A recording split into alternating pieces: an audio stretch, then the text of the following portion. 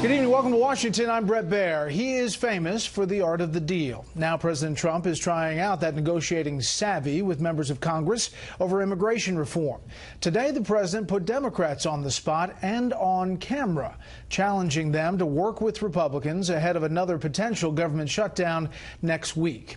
But his 55 minute on cam negotiation, where he appeared to control the room, also appears to be giving hardline immigration conservatives a lot of heartburn tonight.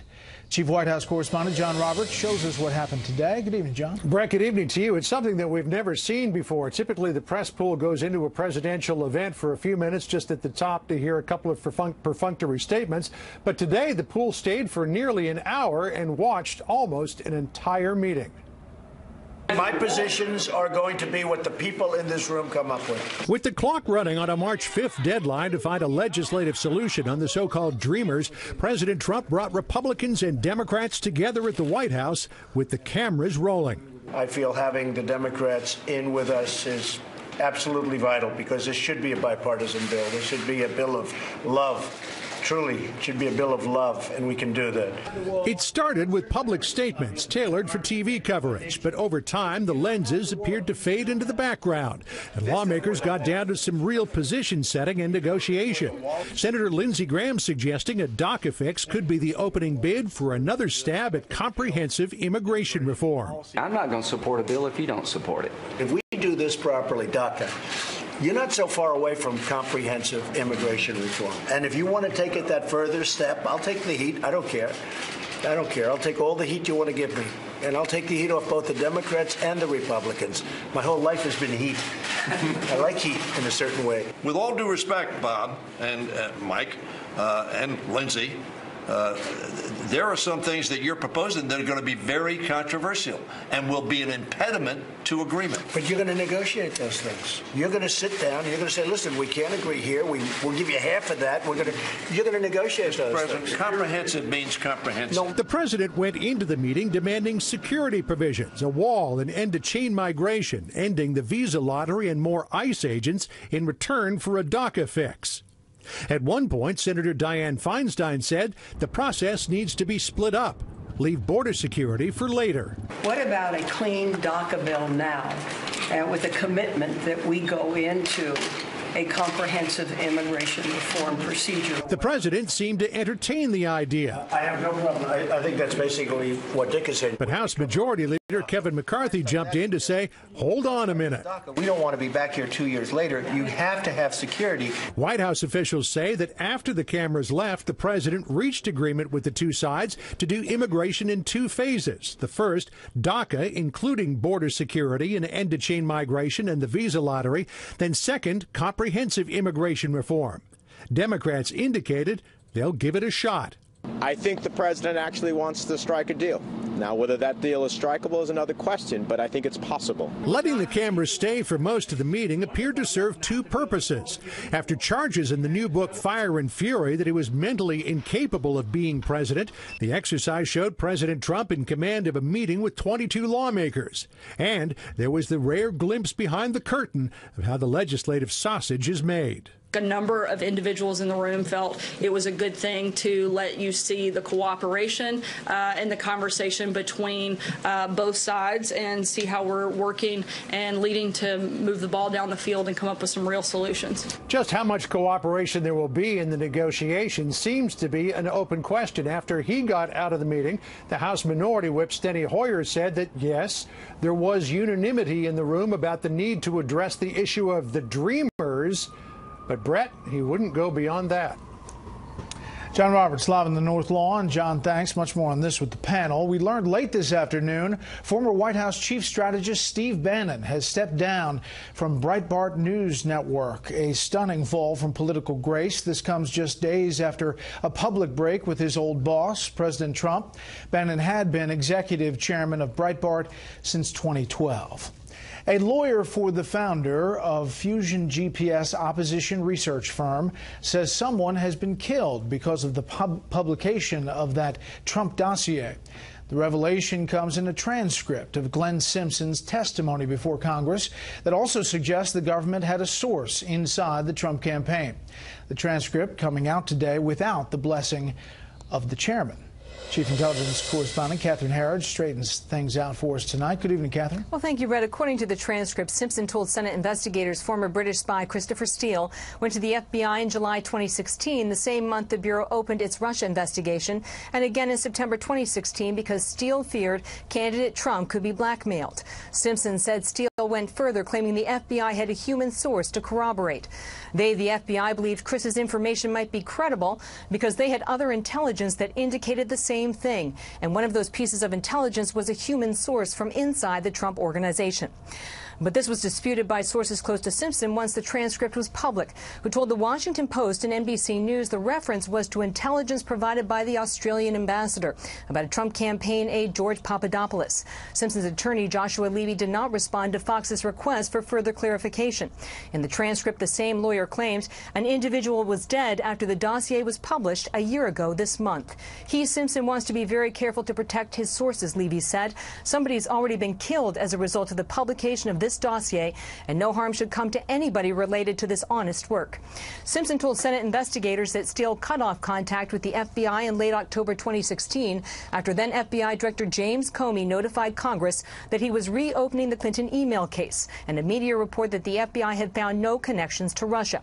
Chris severed his relationship with the FBI out of concern that he didn't know what was happening inside the FBI, and there was a concern that the FBI was being manipulated for political ends by the Trump people.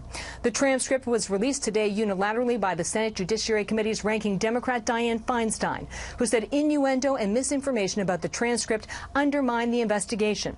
The committee's Republican Chairman Chuck Grassley called the decision confounding because the investigation is ongoing and Feinstein's actions undermine the integrity of the committee and jeopardize its ability to secure candid voluntary testimony in the future.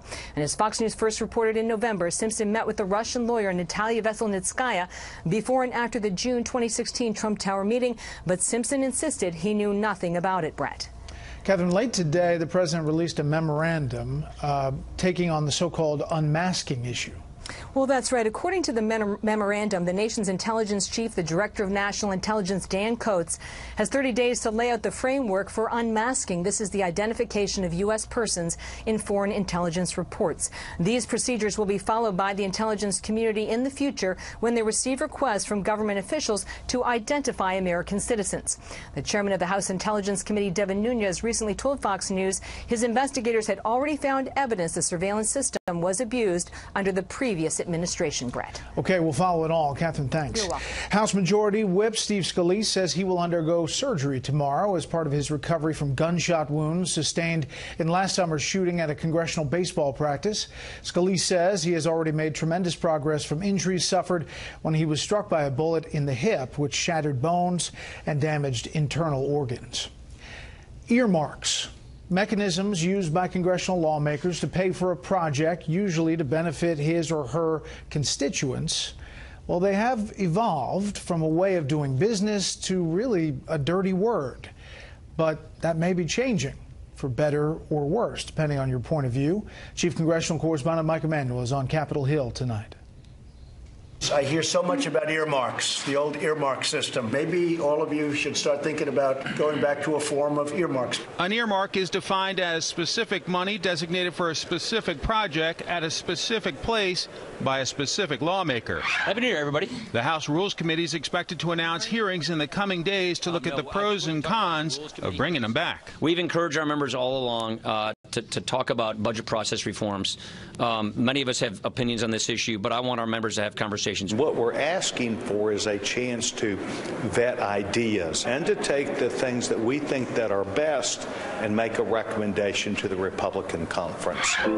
I stand opposed to this legislation because spreading pork around to secure enough votes to pass this turkey is wrong. John Boehner led a crusade against earmarks during his time in Congress.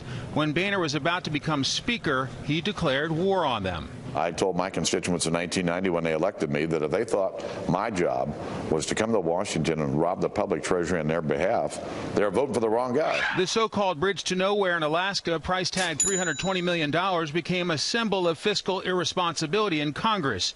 It made the term earmark toxic with the American people, and some mocked their colleagues for wanting to bring home the bacon for their constituents.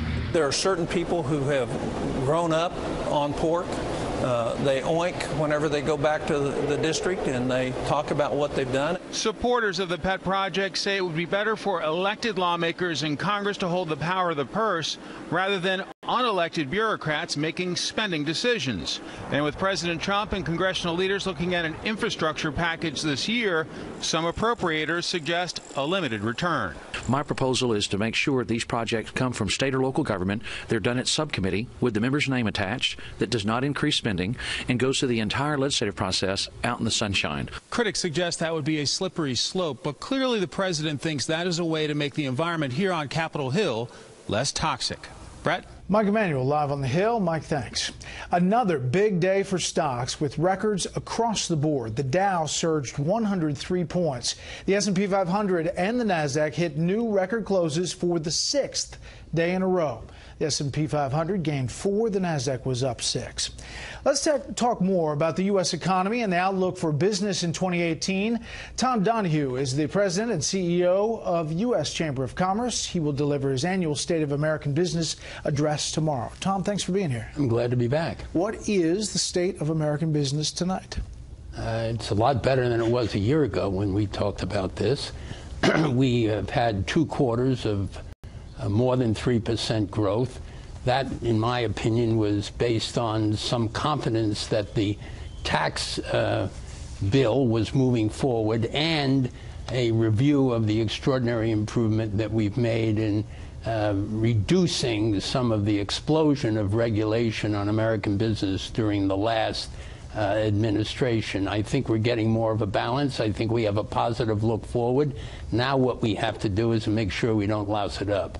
You know that the criticism of the tax bill, now law, was that businesses would take that money and pocket it for their their company, their investors. Uh, we're seeing a number of companies putting it back into the company or giving checks out to workers. What's your assessment of where things stand? Well, I think at first it's important to understand this is not the government's money.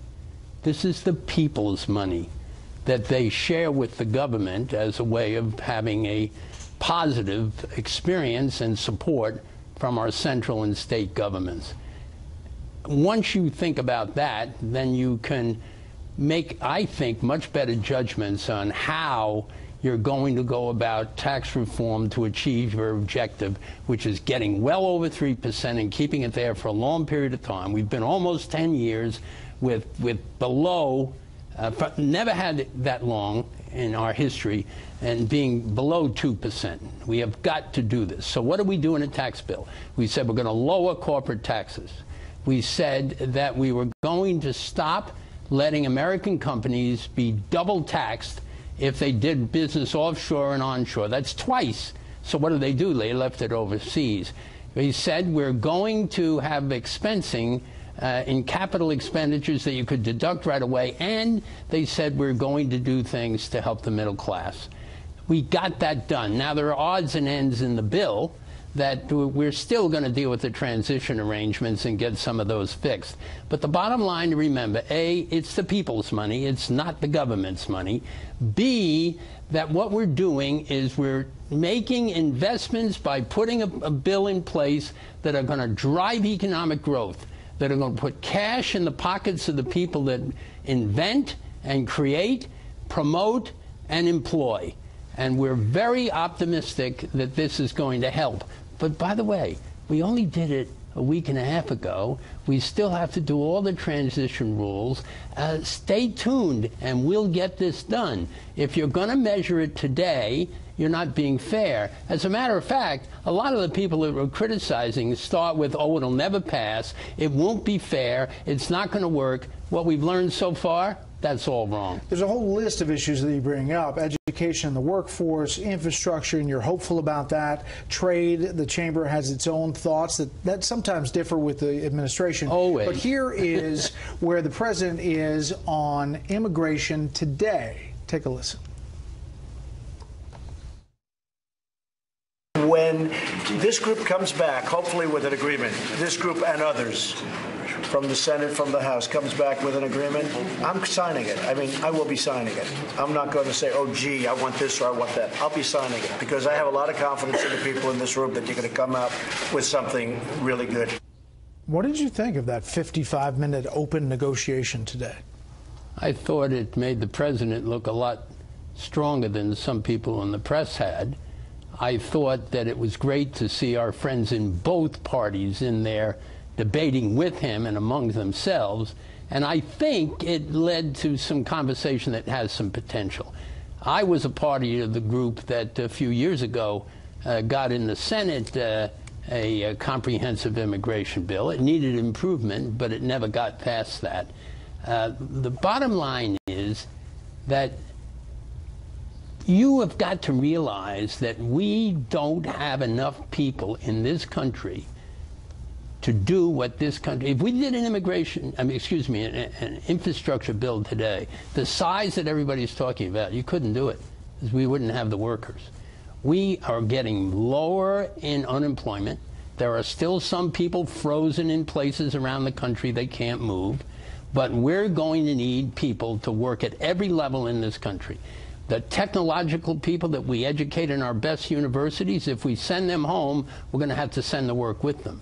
The people that we need for seasonal work, people generally agree about that. The people that we need for special issues. For example, our biggest problem right now and people we need in this country is what are we going to do about caring for the elderly? More and more of them living longer and longer.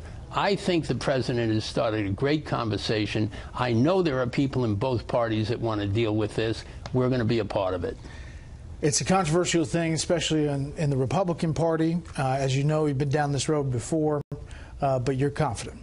I'm confident we'll have a good debate, and I'm confident that one time we're going to move on it because when you run out of people, you run out of, you know, it only takes two people, Brent, two things to drive economics. One is money, and we've got a lot of that, and now more because of tax reform.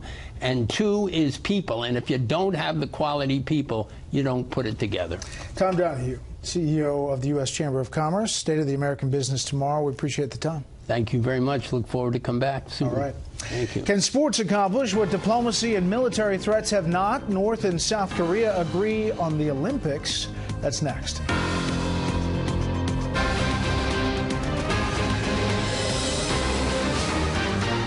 Bit of a thaw tonight in the extremely frigid relations between the two Koreas. North Korea has agreed to send a delegation to next month's Olympic Games in South Korea. Senior Foreign Affairs correspondent Greg Palkot in Seoul tonight tells us what else came from today's historic talks. Breaking the ice in Panmunjom. Delegations from North and South Korea meeting for the first time in two years along the DMZ. The relations between the two Koreas are frozen up more than this winter's weather. After 11 hours of talks, they accomplished their main goal. North Korea will send athletes, officials, and others to South Korea's Winter Olympics next month, a big priority for the South. North Korea's participation in Pyeongchang's Winter Olympics is needed to promote Peace Olympics. Also approved other measures to improve relations between the regime of Kim Jong un and South Korea, including military talks to reduce tensions along the border. South Korea agreed to resolve problems through dialogue and consultation. But some topics were off limits. South Korea raised North Korea's nukes. It was quickly rejected, even if the U.S., not the South, would be targeted. Regarding the nuclear issues, our strategic weapons, including atomic bombs, hydrogen bombs, and intercontinental missiles, are only aimed at the United States, not our brethren. The Trump administration promoted the talks and even facilitated them by delaying military exercises until after the Olympics. But the U.S. could find itself pitted against ally South Korea. The maximum pressure U.S. wanted to put on the regime could be minimized. Looks like North Korea to me have got the slightly upper hand. Uh, this is a very easy way for them to, uh, on the surface, relieve a lot of pressure, uh, especially that diplomatic isolation that the Trump administration have been pushing for so much. Still, the State Department is putting a brave face on things, claiming that the United States remains in close consultations with South Korean officials who will ensure North Korean participation in the Winter Olympics does not violate the sanctions imposed by the UN Security Council. For South Koreans, the next few months, at the very least, might be a welcome pause in hostilities and threats. The State Department also confirming that the U.S. will be sending a high level delegation to the Olympics here in South Korea, and that could include Vice President Pence. No word on whether they will be rooting for the North. Bret. Greg Palkot live in Seoul early Wednesday morning. Greg, thanks. It is the mystery in Havana. And tonight, lawmakers are trying to get to the bottom of what really happened to American diplomats in Cuba who ended up with serious medical conditions. Correspondent Rich Edson has the latest tonight from the State Department. Months of investigation, multiple trips to Cuba, and the State Department says it still cannot explain what's caused these symptoms. Sharp, localized ear pain, dull unilateral headache, tinnitus or ringing in one ear, vertigo. The United States says 24 Americans are experiencing this. They worked at the embassy in Havana. The State Department says it has no evidence of attacks after August 21st. This morning, frustrated senators called State Department officials to explain their incomplete findings. A preliminary report from the FBI says it has uncovered no evidence sound waves are responsible in these so called sonic attacks.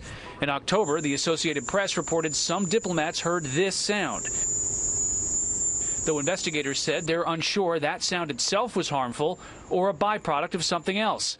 The State Department claims and Cuba denies the Cuban government knows what's hurting these diplomats. There are 24 Americans who either work for the U.S. government who, during their time in Havana, have experienced symptoms that are consistent with what you would see in mild traumatic brain injury and or concussion. Rubio and other Republicans said in September the U.S. should close its embassy in Havana if Cuba failed to take tangible action. The U.S. removed much of its staff from Havana and has expelled more than a dozen Cuban diplomats from Washington. Senators supporting better relations with Cuba stress there's no evidence the Cuban government attacked American diplomats. We're in a very important time here in Cuba.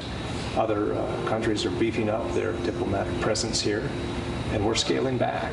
Um, that's not good for us. The State Department says it has established an official accountability review board to investigate its security on this issue. Senator Rubio says state violated the law in waiting so long to do so. Bret? Rich Edson at the State Department. Rich, thanks. Up next, he says he was fired by Google for being a conservative white male. Now he's taking the tech giant to court.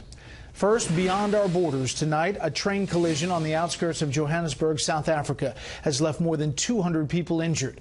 No fatalities reported yet. It's the second crash in that area in several days. Last week, at least 18 people died and 260 were injured in a more serious accident.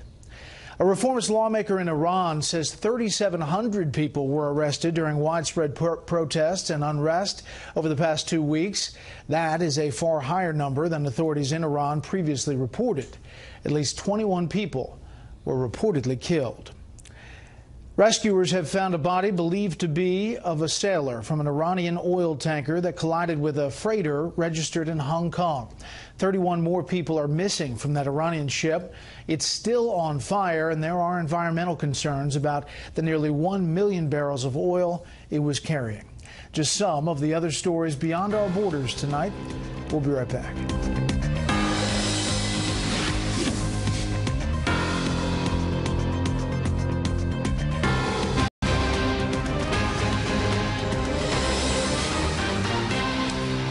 If you type in conservative and discrimination into your Google search engine right now, the first story that might pop up will be about our next story. A former Google employee claims he was fired because of his conservative beliefs and the fact that he's white. National correspondent William Lajeunesse tells us tonight from Los Angeles. Now that man is taking Google to court. Then they said, you know, you're terminated for perpetuating gender stereotypes. In August, Google fired James Damore after he said, while trying to promote diversity, Google discriminated against white men. They felt it was a challenge to the orthodoxy and it needed to be silenced. Damore's memo, which went viral, suggested biology, not bigotry, accounted for gender inequity in tech. People at Google are trying very hard to diversify the company, make it more welcoming to women and minorities. And so a memo like James did not go over well. You're a misogynist and a terrible human, said one coworker. I will keep hounding you until one of us is fired. Expletive you. Another said, if Google management cares enough about diversity and inclusion, they should send a clear message by not only terminating Mr. Damore, but also severely disciplining or terminating those who have expressed support. Jobs are being reserved at Google for minorities and women. That's illegal under California and federal employment laws. Labor Department figures show 69% of Google employees are male, 56% white. It's okay to disparage, smear, belittle, bully, discriminate conservatives and white men. That's not acceptable. Filed as a class action, the suit claims liberal, politically correct attitudes at Google and throughout Silicon Valley silence conservative thought. I found that to be an increasing complaint in Silicon Valley, especially after the presidential election. I mean, companies like Google and Facebook have historically had a really cozy relationship with the Democrats. They were very much caught off guard by the election. Google said it fired Damore because he perpetuated a gender stereotype, and the company looks forward to defending itself in court. Bret? William, thank you. A huge mystery tonight involving a secret U.S. government satellite. Not so secret anymore. It was supposed to be launched into orbit Sunday by the private firm SpaceX. But right now, no one is saying what really happened once the rocket got off the ground. Correspondent Phil Keating is on the case tonight from Miami. Four, three, two, one. Ignition, liftoff. What looked like a spectacular nighttime start to a classified government mission ends up in a multi billion dollar mystery and disaster. For a full day, people around the world thought the top secret Zuma payload, presumably a military or spy satellite, was in low Earth orbit. As a standard procedure for classified payloads, customer Northrop Grumman requested SpaceX's live feed be stopped after the first stage rocket separated and then successfully landed upright back at Cape Canaveral. It's now believed the satellite failed to separate from the second stage rocket, and Zuma likely plummeted back to Earth. SpaceX built the rocket carrying the classified payload. The company said Tuesday, for clarity, after a review of all data to date, Falcon 9 did everything correctly on Sunday night, opening up the possibility that maybe the satellite itself was flawed. 16 months ago, Facebook's $200 million internet satellite went up in flames atop a SpaceX Falcon 9 rocket on the launch pad.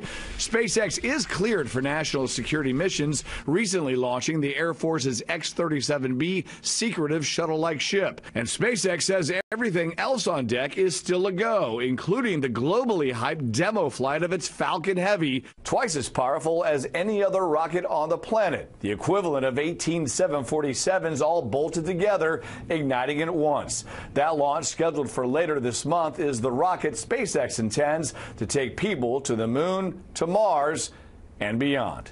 Bret. Phil Keating in Miami. Phil, thanks. Up next, the All Star panel joins me to break down the latest on the immigration debate, debate and today's rare meeting. First, what some of our other Fox affiliates around the country are covering tonight. WWOR in New Jersey as Governor Chris Christie delivers his final State of the State address. Christie leaves office after two terms with low approval numbers after his failed presidential run and the so-called Bridgegate scandal. Fox 11 in Los Angeles where at least eight people were killed when heavy rain sent a wall of mud sliding down hills in Southern California. Those hills had been stripped of vegetation by a gigantic wildfire that raged in that area last month. Rescue crews are using helicopters to lift people to safety because of blocked roads and waist high mud. And this is a live look from Phoenix from our, from our affiliate Fox 10. One of the big stories there tonight Former Maricopa County Sheriff Joe Arpaio announces a run for the U.S. Senate. Arpaio was recently pardoned by President Trump after a conviction of criminal contempt of court. Arpaio and others are seeking the seat being vacated by Republican incumbent Jeff Flake, who said today Arpaio's Senate bid is doomed. That's tonight's live look outside the Beltway from Special Report. We'll be right back.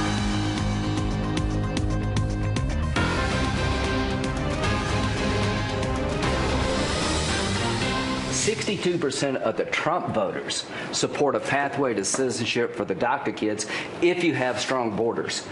You have created a opportunity here, Mr. President, and you need to close the deal. We can agree on some very fundamental and important things together on border security, on chain, uh, on the future of diversity visas. Comprehensive, though, I worked on it for six months. We don't have six months for the DACA. We're not talking about. If we do this properly, DACA, you're not so far away from comprehensive immigration reform. And if you want to take it that further step, I'll take the heat. I don't care. I don't care. I'll take all the heat you want to give me. And I'll take the heat off both the Democrats and the Republicans. My whole life has been heat.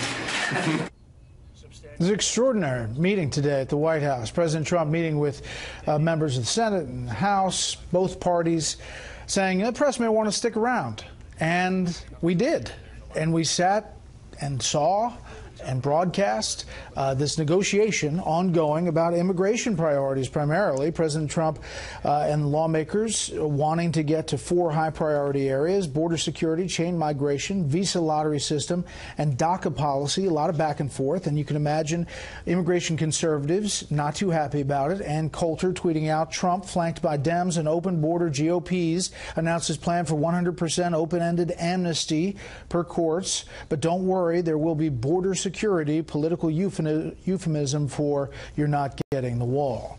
Uh, with that, let's bring in our panel. Jonathan Swan, national political reporter for Axios. Julie Pace, Washington Bureau Chief for Associated Press. And Katie Pavlich, news editor at townhall.com. Uh, Julie, it was quite something. 55 minute pool spray. That's pretty rare at the White House, and it's a lot easier to do the reporting when you actually get to sit in the room and hear the negotiations as we're opposed all for to. It, we way. love it. I think it's great. I take I would take more of these kind of pool sprays. It was a fascinating discussion because you actually do see that on immigration, which is this really sensitive, very emotional topic, there actually are the broad outlines of an agreement. There actually have been for years.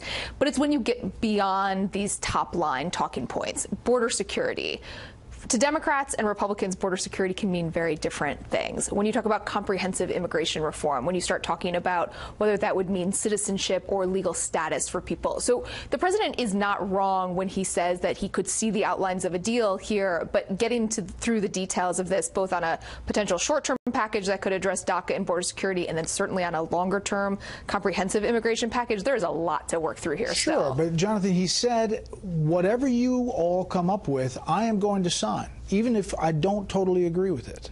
Right, but the Republican leaders are still paralysed with fear of alienating the base and alienating members who don't want to give amnesty without really big concessions in terms of a wall. And frankly, you see in that meeting, Julie's exactly right the definition of what a clean bill is came up. Trump goes, oh, yeah, no, I like a clean bill. But then it turns out, in Trump's mind, a clean bill is DACA plus a wall. Sure. And look, where this is heading, well, like it or not, unless some dynamic really changes, it's quite likely we get a government shutdown. There are huge, or another punt, another or another punt. punt. But, but you know what? They may not get the votes for a short-term CR because there's a lot of these defence hawks, uh, Republicans, who aren't willing to go again and kick the can down the road because Ryan gave away the farm last time. So it's actually not going to be that easy to get a short-term CR. Well, I mean, we've seen this this story before in Washington about conservatives concerned about immigration policy.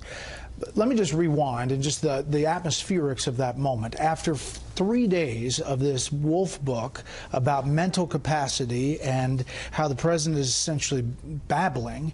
Um, he kind of held court there today. It definitely gave the White House an opportunity to take back the narrative, to get away from the drama that that book presented uh, on the national stage. It allowed the president to do a number of things. It allowed everyone across the country to see that he was in control, uh, asking Republicans and Democrats to come to the table with good ideas that they can agree on, but in a civil manner. It also allowed him to put members of Congress on the record in their own words about what their ideas were to present them directly to the American people. And on the issue of DACA and getting a deal, deal. The thing is, is that DACA is not just about DACA. It includes comprehensive immigration reform in terms of all the DACA recipients in this country have parents They have families. The parents that brought them here are illegal immigrants, so they are very directly connected. So you actually can't do DACA without addressing comprehensive immigration or reform, chain migration, which is very difficult. Right. lottery system and everything else. But you think the lawmakers in that room, Julie, were surprised that the cameras were still there? I think they Like, were are awfully they surprised. Still I mean, here? just for, for people who who aren't in the White House every day, you know, you have to explain how rare this is.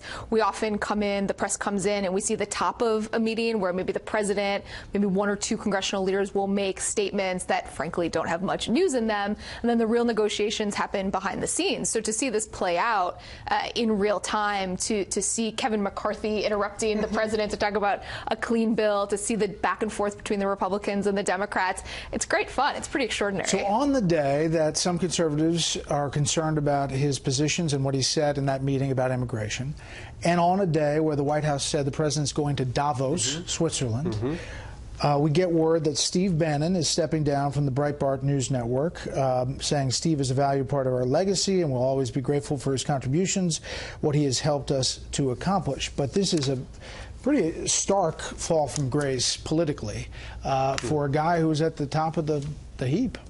Uh, Trump broke him. Trump made phone calls last week and he told people explicitly uh, you've got a choice now. It used to be you used to choose between Jared Kushner and Steve Bannon.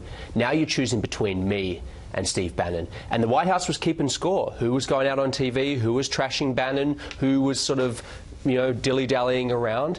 And Steve Bannon found himself completely isolated. His biggest funders, the Mercers, have backed away from him. And now he is a man who still views himself as a revolutionary, as this great historic figure, but he finds himself without a media vehicle, without a platform, without any major donors funding his political activity, and without any staff. He's a man entirely alone. It's, it's quite remarkable how fast he's fallen. Okay. Just given the way that Steve Bannon swooped into Breitbart years ago when Andrew Breitbart passed away, I am happy to see he is gone, and I hope that Breitbart, as a news organization, can regain what Andrew Breitbart decided to start there because his name certainly deserves better. I left off of the list the immigration concerns, Davos, and bringing up earmarks. Yes. Yes. That too. I mean, all on the same day. Oh, to bring back earmarks really rattled a lot of conservatives to hear the president. I think it was Michael Needham from Heritage who said to hear the president who promised to drain the swamp talk about bringing back earmarks is pretty extraordinary. But this is the other Trump. I mean, this is the president Absolutely. he wants to be, the post partisan president, bigger than Republican and Democrat, this transcendent figure. You know, this is the guy he wants to And be. the reality of earmarks, the upside of earmarks is it's a heck of a lot easier to make a deal when you have the earmark power. to give people- That's why the Democrat resistance to Trump from the beginning has been so baffling to me because he has a record of being a Democrat, being an independent who can work with everybody. So I think he proved that today with his meeting on immigration. He's showing that he can moderate on a variety of issues, and he's not this hardcore right winger that has the no left is actually right. That no the left is actually uh, painted him out to be. We'll see how hard the hardline immigration conservatives come see. uh, in And coming Coulter's days happy about it, and so. hours. Next up, has someone actually been killed over the Trump dossier? And the latest about what came out today.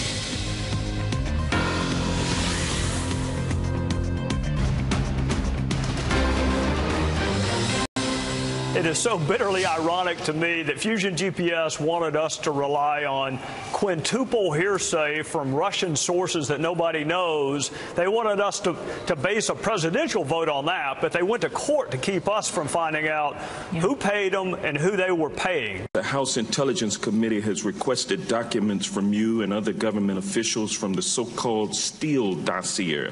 Why have you failed to produce these documents? In many instances, we are dealing with very, very dicey questions of sources and methods, which is the lifeblood of foreign intelligence and for our liaison relationships with our foreign partners. The FBI director uh, saying why they were not coming forward with some of these details. Now we have the transcript from Glenn, Glenn Simpson, the head of Fusion GPS, put out by Senator Dianne Feinstein. Uh, in part, uh, it says that he, Glenn Simpson, wants to be very careful to protect his sources. Somebody's already been killed as a result of the publication of this dossier, and no harm should come to anyone, anybody related to this honest work. What does this all have to do with what we're learning from this transcript? Uh, Uh, and what it tells us about this investigation. Julie. Well, I don't think the, the release of the very lengthy interview that Glenn Simpson did sheds new light on the investigation necessarily. I do think that there were a couple of notable uh, pieces of information from Glenn Simpson's transcripts. One, we don't have an answer to, which is a person was killed, he says, uh, as, as it relates to the publication of the dossier. Certainly, there's going to be some interest in figuring out who that person would be. Uh, two, he does talk in his interview with the Judiciary Committee about knowledge that he has of a person involved in the Trump campaign who corroborated for the FBI some of the information in the dossier. What we've been told is that that is likely George Papadopoulos, who it now has been publicly reported was having a conversation with an Australian ambassador. Whether that means that Papadopoulos was engaging directly with the FBI, which seemed to be one of the takeaways today, I think is probably an overread. Yeah, I think the of what he was Post has talking talked about. to them, and they're kind of walking it back. Yeah, it, it, it seems like it's it's basically Glenn Simpson putting pieces of information together, having heard that there was a Trump person who was able to corroborate some information, but not necessarily that there was a Trump official who was a mole or a walk-in for the FBI. Uh, Jonathan.